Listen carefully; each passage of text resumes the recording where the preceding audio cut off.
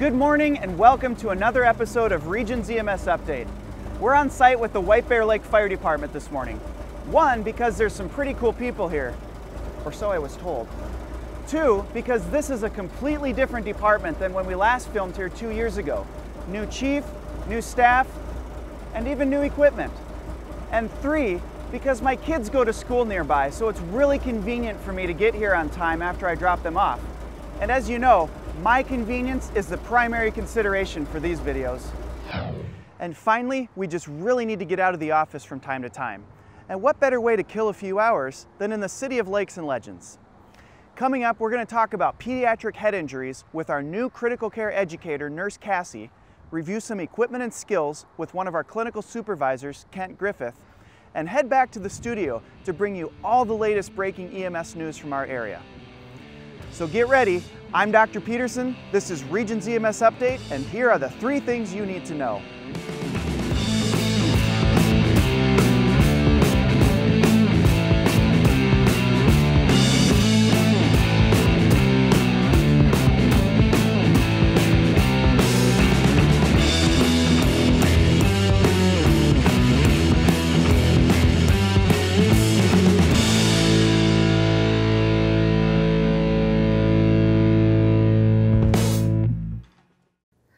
Hi, I'm Cassie, and I'm a pediatric ER nurse as well as the critical care education specialist for Regions EMS. I want to take a minute to talk about pediatric sports related head injuries. The number of mild traumatic brain injuries has increased steadily over the past 10 years. It's tough to get an exact number that occur yearly, but it's estimated that 70% of all sports recreation related TBI ER visits were among persons aged 10 to 19 years with the majority of those being males. Football, soccer, and basketball injuries are most commonly reported, and of course, in this state, hockey. What a shot he scores! It was tipped out in front, I believe, and it may have been by Darian Romanko. Ouch. Well, let's take a minute to talk about what to do when you're called to the scene of a sports injury involving a pediatric patient with a suspected head injury. Not every concussion looks identical, but the following signs and symptoms are common findings in mild traumatic brain injuries. They include headache, nausea, vomiting, confusion or amnesia, anxiety or irritability, blurred vision, and a GCS between 13 and 15. While it can be difficult deciphering the severity of an injury based on clinical symptoms versus the reaction of the parents and bystanders, there are clues in the history that can give us some insight. Ask what the mechanism of injury is. What caused the injury? How did it happen? Ask the patient if they remembered what happened. What was the immediate clinical presentation of the patient? Did they lose consciousness? If so, for how long? Did they get up and go to the bench? Were they confused? Take note that adults and guardians who are familiar with this child may be able to give you better insight if their patient is at their baseline. What risk factors are present? This includes a previous TBI. If it was practice or a game, athletes are more likely to have high impact collisions during a game compared to practice. And if the patient was wearing the correct protective gear, such as a helmet when riding a bike. If there's ever any question on whether or not patient has suffered a mild traumatic brain injury, remember this. When in doubt, sit them out. A previous mild traumatic brain injury is the number one risk factor for sustaining a second. There is a 50% mortality rate in patients who suffer from second impact syndrome, a condition where a person suffers a second TBI prior to the resolution of symptoms from their first TBI, resulting in the loss of autoregulation in the brain as well as cerebral edema. Any athlete that is being evaluated on the sideline must prove that they do not have a concussion before returning to play by proving absence of symptoms and a normal exam. Remember, when in doubt, sit them out. Educate players, coaches, and parents about this.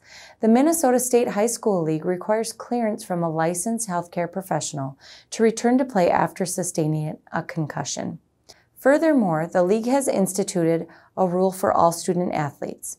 Any athlete who exhibits signs, symptoms, or behaviors consistent with a concussion, such as loss of consciousness, headache, dizziness, confusion, or balance problems, shall be immediately removed from the contest and shall not return to play until cleared by an appropriate healthcare professional. When in doubt, sit them out. When do you transport? It's safe to say that if there are life threatening injuries, you transport. However, since symptoms can be delayed and each TBI injury is different, it's important to know when to go. If a patient has prolonged loss of consciousness for greater than one minute, if there's concern for a cervical spinal injury, remember kids have big heads and lack neck muscles at younger ages, which increases their risk for a cervical spinal injury. Was the mechanism of injury high risk or high impact? Was it a player that ran full speed into a goalpost? A pitcher that was hit in the head with a baseball, a cheerleader that fell from the top of the pyramid. Those injuries sustained from high speed or velocity should be evaluated in the ER. Are there any signs of a skull fracture, including a palpable deformity of the skull or leaking of CSF from the nose or ears? Is the patient experiencing any seizure activity? Seizures caused by trauma may actually indicate hemorrhage. Buying your patient a ticket to the ER. Lastly, monitor your patient for any worsening in their condition, including persistent vomiting, increased sleepiness or responsiveness, difficulty walking or talking, or any focal neurological deficits. These may all be signs of an intracranial hemorrhage as well and should be evaluated in the ER. So, the next time you're called to the scene of a sports related head injury, remember these few things. Assess for signs and symptoms of a head injury, and remember, not all traumatic brain injuries look exactly the same. Get a detailed history to give you clues to potential injuries that have been sustained. When in doubt, sit them out. If a player isn't transported but you suspect a mild traumatic brain injury, educate the player, coach, parents that they still need to be evaluated and cleared by an appropriate healthcare professional. And know when to go. Based on your evaluation in the history, know when this could potentially be more than just a mild TBI, and transport is needed. Thanks for tuning in. If you have any further questions, please reach out at emseducation at healthpartners.com. Hi, Kent Griffith from Regions EMS. I'm here today to talk about two products that our medical direction group has recommended for your use. The first and probably most simple is the suction catheter. Typically, you're used to using the Yankauer. It's been around for a long time. It's a thumb controlled suction device and it does a pretty good job of getting rid of some secretions, but it's a smaller bore suction catheter. So recently we've come upon a device called the Ducanto suction. It's a much larger diameter suction. It has no thumb control and allows you to, to suction out continuously large amounts of blood or emesis or products of, of the emesis. So it can be uh, rapidly put into the oral, upper oral airway uh, and uh, decontaminate that uh, when there is products such as vomit or blood. The other product uh, which you're much more used to, is having bag valve masks. Currently, the Ambu Spur is the most common one used in our system, and you have to have two of them at least, an adult bag and a pediatric bag. Um, we have come across a new device that incorporates a lot of these features, plus some other real neat features I want to go through. So this is the Mercury Medical Small Adult BVM. And with this device, you only need to carry one size for both adults and pediatrics. So it takes away having to have two devices uh, in your ambulance, in your bags. All right, so I'm going to show you a little of the features, a few of the features of this BVM.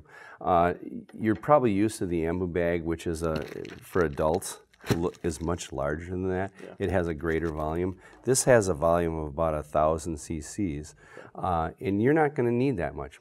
Recommendations from the AHA now are about four to 500 cc's per breath.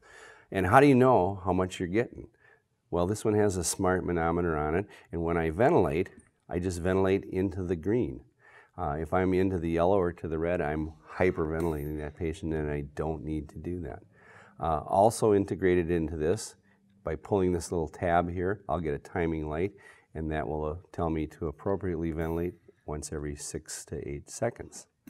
Uh, also in this bag is a built-in uh, PEEP valve. So normally a patient who is being ventilated should have five centimeters of PEEP as a physiologic uh, part of their ventilation. So it keeps the, all the alveoli, or opens up all the alveoli that uh, tend to close off when people are hypoventilating. So by doing this, I'm going to ventilate the patient once every six seconds, and you'll notice as the lungs uh, decompress, it takes a little bit longer with the PEEP valve off, so on. So watch as I do that. You'll notice it takes a little bit longer.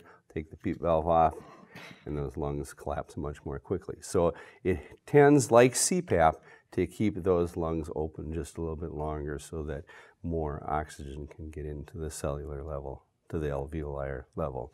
Um, and then because it's also a pediatric bag, uh, again, I don't need to go any change anything in my ventilations. I just need to keep that in the green. But some patients in the pediatric population, maybe the near drowning patient, needs um, more pressure in order to get their lungs to expand. So pediatric bags usually have a feature that you can lock out that pop off. And so by pushing this little clip, now I can maintain the pressure I need to get those lungs to expand uh, in, in those pediatric cases. So it has a lot of neat features in there. Uh, it's disposable, it's smaller, and now you only need one bag to carry in your, in your bag of equipment for oxygenation of both the adult and the pediatric patient. That's fantastic. It is fantastic.